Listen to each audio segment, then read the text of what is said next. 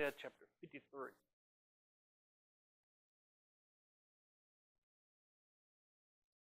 Now, in Isaiah 53, verse 7, Isaiah here was given some, some insight about Jesus Christ and what he was going to have to go through. And he says, He was oppressed and afflicted, yet he did not open his mouth. He was led like a lamb to the slaughter, and as a sheep before its shearers is silent, so he did not open his mouth. It says in verse number 8, By oppression and judgment he was taken away, yet who of his generation protested? For he was cut off from the land of the living, for the transgression of my people he was punished. Now it says in the in the book that today's point is that the Bible is true and it helps us tell others about Jesus. So since the Bible is true, we can always count on it to be the the foundation of our faith, the solid rock that is unwavering. We can build upon that not only with the beginning knowledge of salvation, but who Jesus is, and we can look back in the Old Testament and see um, how God was letting his people know he's coming and he's going to suffer for you. He's going to suffer in place of you. He's going to go through these things, but he's going to do it with such humility and grace. He's not going to say a word. It's not going to be like we would be if we were being uh, having our flesh stripped from our body or being punished for our sins or or just getting whipped we would be crying out in pain and, and for mercy, and Jesus didn't say a word. And what the Bible is talking about here is not just the fact that he was able to stay quiet, it was his willingness to do it.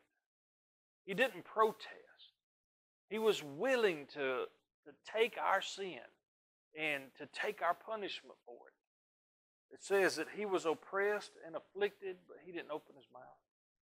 He willingly, openly did that. He was led like a lamb to the slaughter. He didn't open his mouth. By oppression and judgment, he was taken away. Who of this generation protested? Who was crying out for Jesus to be freed? Instead, they cried out for, uh, for Barabbas to be freed. No one was on his behalf.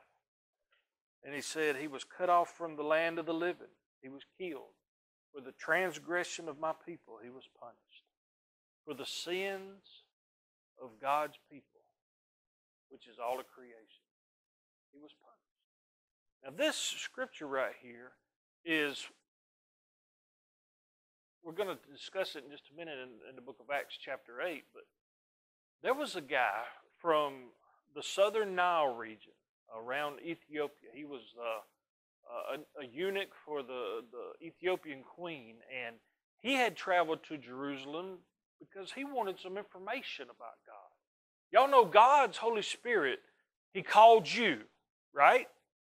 He called you to salvation. He called you because you were living in sin, you were, you were dead in your trespasses, you were dead in sin, and God called you to salvation. First thing He did was to convict you of your sin. His Holy Spirit convicted you and let you know that something is wrong.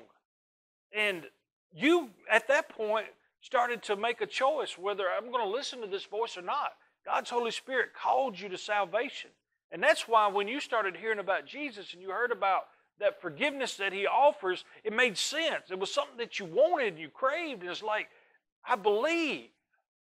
And that's where salvation started. Well, this guy had already heard about some of it. He wanted some more information, so he went up to Jerusalem. I guess that's why it's the Jerusalem marketplace. So he came up to Jerusalem and he was uh, looking for some more information. And he had obtained a, a parchment of Scripture. And on that Scripture was the, this passage out of Isaiah. And it's like, okay, he was he was punished for me, but he didn't say a word.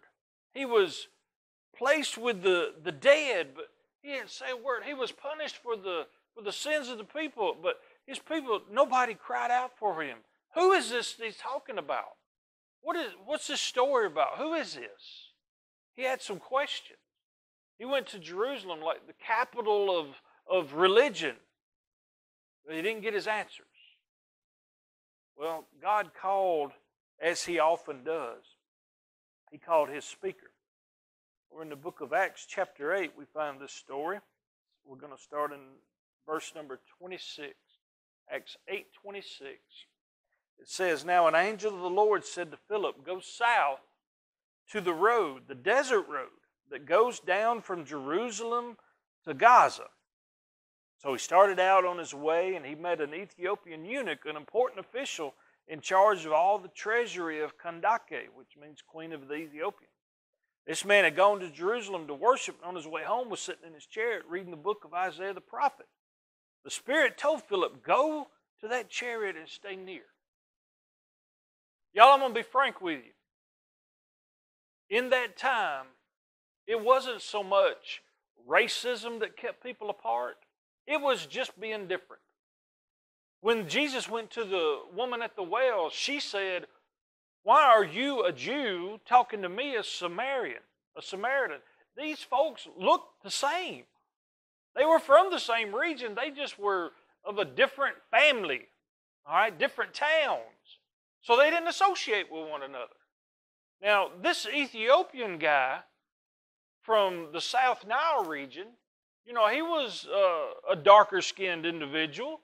And Philip, being a Jewish man, he was an olive skinned individual, but they were definitely different looking. They were also different uh, believing, different backgrounds, a lot of differences.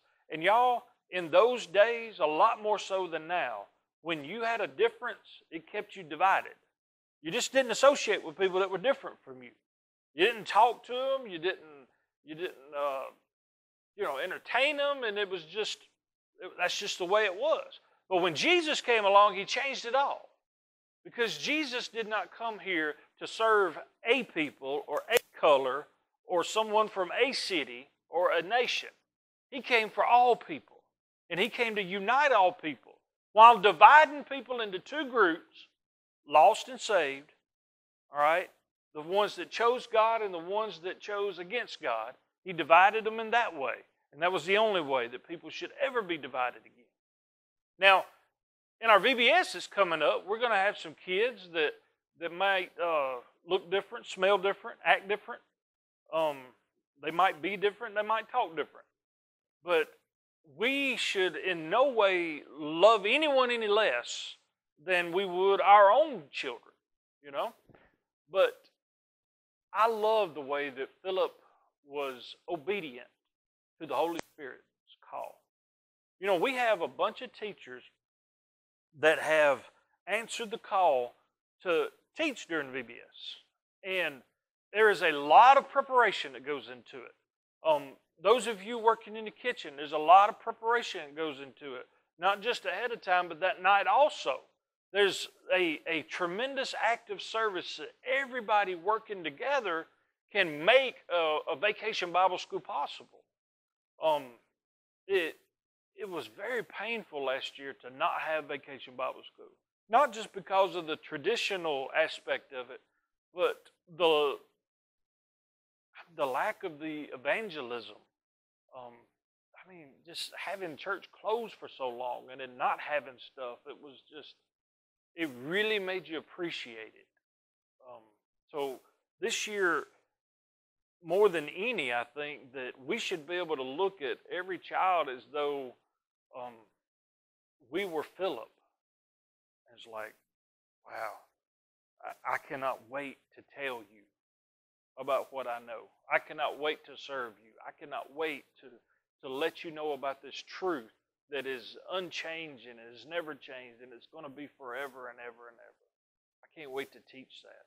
And these kids, there's a lot of them that they missed not getting to come last year to VBS. They didn't. A lot of them go to several VBSs and they didn't have any. And it was like, I didn't get to go to none. Like, well, we got a brand new one just waiting to be rolled out. Here we go. And I love that the Spirit told Philip, Go to that chariot and stay near it. Now, we know what a verb is, right? A verb is a word that denotes action. In the very next verse, what is the verb? So Philip moseyed up to the chariot. No. He ran, didn't he? The Holy Spirit told him to go to that chariot and then stay near it. And it says that he ran to it. He could not wait to tell. He couldn't wait. And when you have that type of excitement, that type of enthusiasm, it rubs off. It is like you are in a revived state and it rubs off on everybody around you. This eunuch had no idea what was about to hit him. He had done went to Jerusalem to find answers. He had done went to church looking for an answer. This parchment, he was sitting there on the side of the road reading it, reading the book of Isaiah, wondering who is this about? And here comes this joker running up beside him, running up to him. Man, you know, I'm going to tell you something. Holy Spirit told me to come talk to you. He's like, Holy Spirit, who is Holy Spirit? Because that's my Ethiopian accent. And it's the one I serve. It's the Spirit of Jesus Christ. I do not know this Jesus, but I would like to know who is this Jesus you're speaking of? I only have Isaiah. I'm reading Isaiah. But they're talking about someone who was slaughtered and didn't say a word. Who is he talking about? Give me a second. I shouldn't have ran. I could have talked more, quicker, sooner if I hadn't ran, but I ran. I was just so excited. So he gets up there, and Philip asks me, I see you reading Isaiah. Do you, do you understand what you're reading? He's, How can I? Unless somebody, I cannot, unless somebody explains it to me. So he invited Philip, come up here and sit with me. Come sit. Sit right here. Explain, please. So, like he turned into Borat for a minute. So, verse 32, he says, it says, This is the passage of Scripture the eunuch was reading. He was led like a sheep to the slaughter, and as a lamb before its shearer is silent, so he did not open his mouth. In his humiliation, he was deprived of justice, which means nobody spoke up for him. That's what Isaiah said. Um, who can speak of his descendants? For his life was taken from the earth.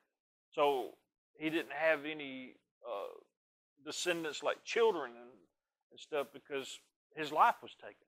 So um, his life was taken from the earth, and, and therefore he was dead. So the eunuch asked Philip, he says, uh, Tell me, please, who is the prophet talking about? Himself or somebody else? So he didn't know if it was Isaiah talking about Isaiah or if he was talking about somebody else. He didn't understand. Because a lot of times when you are given a Bible and you you might pick it up out of a, a hotel drawer or just find one, or Gideon gives you a little one at school or something like that, and you open it up and you start reading it. Some of it is, is literal. Some of it you can take literally, and it's pretty easy to understand, but some of it you have no idea what it's talking about because the Holy Spirit reveals these mysteries. And that's the beautiful thing about um, Vacation Bible School is that through all of the songs, they were prayerfully written and choreographed so that the kids could remember something about Christ. All of the lessons are, are worked together with that. Every single craft or, or mission lesson, everything is working together to build upon that knowledge and to hopefully unravel the mystery of that particular lesson. This guy was hungry, but he didn't understand. I think the greatest thing that Philip was bringing with him was not just knowledge about Isaiah, but it was the Holy Spirit. And when the Holy Spirit is living inside of us, he can do anything that he wants. And man, I love what he did here. The eunuch asked Philip, Tell me, please, who's he talking about? Himself or somebody else? Then Philip began with that very passage of Scripture, and he told the good news about Jesus. If somebody asked you, why do you have hope? What is grace? What is the mercy of God? You know, how could I possibly not be freaked out right now because I feel like I don't see how things can work out. I don't see how things can get any better. And we start telling them the good news of Jesus, about the grace of God, about the forgiveness of God, the eternal life He gives, and the hope that that brings with it, and how He will give us a peace that passes all understanding. And He will never leave us. You'll never be alone. And He'll be with us to the very end of the age. And when is that going to be? It's never going to happen. He's always going to be with us. And we get to live forever. You know, and uh, it's so hard to grasp and to put it into words what that means eternal life. You're not going to die. Your soul, the part of you that's thinking, it's not just a gray blob of goo in your noggin. That's not just, it's not just a, a, a it's a soul. It's an eternal thing, okay? I mean, y'all look at us. We are carbon-based life forms, okay? We, we come from the dust and we're going to return to the dust, our bodies. But our bodies are different from any other living thing on this earth because they have a soul in them. And our soul is eternal. It's going to live forever. All these little kids has got souls. All of us have souls. And our soul is going to live on either in heaven, living, or in hell, dying. But it's going to live when our bodies give up. We're just going to go somewhere else. Our soul's going to be set free, and we're going to go to be with God if we believe in Him. And that is the greatest news you can tell. That is the good news. How do I how do I make sure that I'm going to heaven? Well, I, I'm glad you asked. I would like to tell you about Jesus Christ. God demands that the, the payment for sin is death. And Jesus came down here and paid it for you. Now, if you would just believe in Him, accept Him, and let Him be the Lord of your life, let Him be your Savior, you gain eternal life. You're born again at that moment. You, you are living your second life, one that's never going to end. When you your body passes away, no matter what happens to you, you're going to go on living with Jesus. And don't you want to don't you want to make sure of that right now today? You know, this guy, he was he was curious. He wanted some answers. He went to church looking for them. And God sought him out and found him on the side of the road. It says, as they traveled along the road, they came to some water. And the eunuch said, Look, here's some water. What can stand in the way of me being baptized? If you Philip said, If you believe with all your heart, you may be baptized. And the eunuch said, I believe that Jesus Christ is the Son of God. So Philip basically gave him the invitation right there. He said, If you believe with all your heart. Now this word believe is the same believe found in John 3:16 and other places in the Bible. In the Greek, that word means surrender. If you surrender your life, like I cannot earn my salvation. There's nothing that I can do that's going to impress God enough to just let me have eternal life. Jesus did everything that was necessary, and God won't accept anything else. So do you accept it or not? Do you do you make an acknowledgement that you need to be saved? Then let him save you. I can't I can't get salvation on my own. I can't earn it, I can't work it. I don't deserve it. Jesus gave it. And I want to give my life to Him. You can't withhold. You can't, like, halfway be saved. It's all or nothing. Bible says you cannot serve two masters, it's one or the other. I mean, you cannot have the Holy Spirit living in you and, and have a, a sinful nature ruling you at the same time. It, it does not work that way. So, if you have a, a sinful nature ruling your life where you are living without remorse, when something creeps up, when you think about something, you say something or you do something, you don't have any remorse over that, then the Holy Spirit's not living in you. You've never surrendered. And that's a real, real problem for a lot of folks. Not just these kids of VBS, y'all, but people in our church, people in our community, people in our families. They died today, where would they go? This eunuch, he come face to face with that. He said, There's some water. What can stand in the way of me being saved?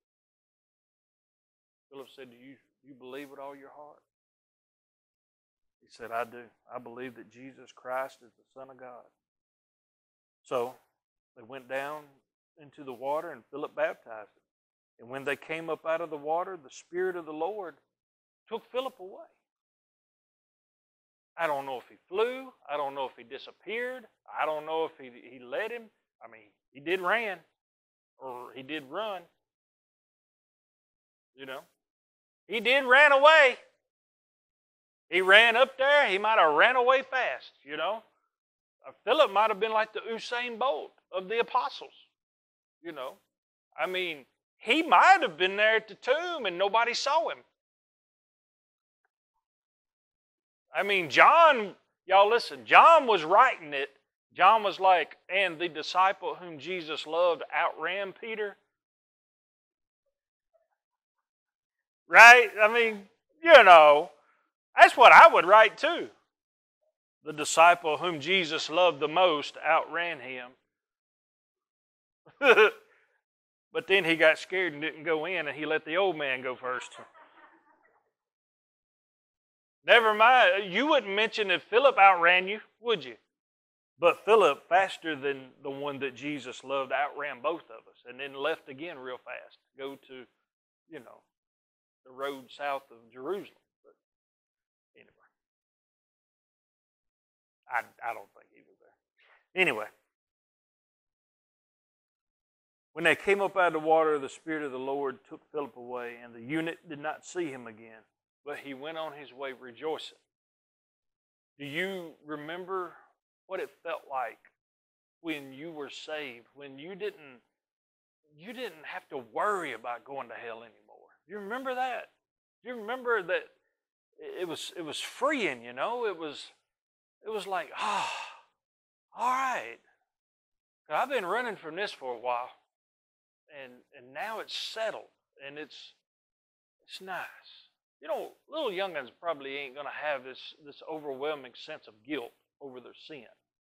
Um, usually, when they get to be around seven to ten years old, they start realizing what sin is, and there for a couple years, they're they're very pliable, where their hearts are soft enough that they are receptive to the Holy Spirit, and then they turn into teenagers and they think they know everything. So it's going to take a minute. But they are, you know, in, in that in that age where um, they're probably not going to be brokenhearted over their sin because they haven't had a tremendously sinful life yet, but they are still receptive to the Holy Spirit working. And when they hear about Jesus, that's why he speaks about the faith of a child. It's so innocent. It's like, I would like to live forever with Jesus. Yeah, yeah. I mean, it's like yeah, well, why wouldn't we do that? Why not be saved, you know? And they don't overcomplicate it. So it's almost a lot easier to share the gospel with the little ones because, you know, they're not, they're just not that cynical yet. And they get older, they become cynical and, and very, very doubtful. It's like, well, if God is so good, then why, why am I depressed all the time? Why do I have to get up in the morning and go to school if God is so good? You know, and just stuff like that. It's it's it's not a real good argument, but don't know. We all had them. It was just ridiculous. So this guy, this guy, he went away rejoicing. He went back to his his place, his spot, and uh, I imagine, like with the Samaritan woman leaving the well, said her whole city uh, came to know the Lord. I can imagine that there was a big revival break out where he was. And y'all, that is really the point of VBS is to share the good news and the good news go home with the kids parents come in and they see their macaroni crafts and they eat their ice cream and hopefully they're like, that satisfied my stomach and my soul. I would like some more, please. And You know, because y'all, we're Southerners. We love seconds and thirds, right? So hopefully they'd be so filled that first night that they're like, that was that was pretty nice. I would like some more, please. And then they'd come back for some more. And then pretty soon they're like, hey, can I feed somebody this stuff? Because I, like it so much, maybe I can share with somebody else. Well, yes, you can. You can share it with, with your family and with your friends and neighbors. Then pretty soon we got a we got a whole pyramid scheme going. You know? Yeah. Well, it's not a scheme. It's it's just evangelism. You tell, and you telling all of your class, you'll have say ten, and then those ten go back to their families, and that ten is is now spread to forty, and then that forty is is spread, and you know pretty soon it's, it's everywhere. Oh. One guy changed the world. And he did it without arguing at all. And we get to talk about. You seek me and you find me when you search with your whole heart. Search with all your heart, you'll find me. And that's what Jeremiah was saying about Jesus. Y'all got any questions, any concerns, or anything about VBS?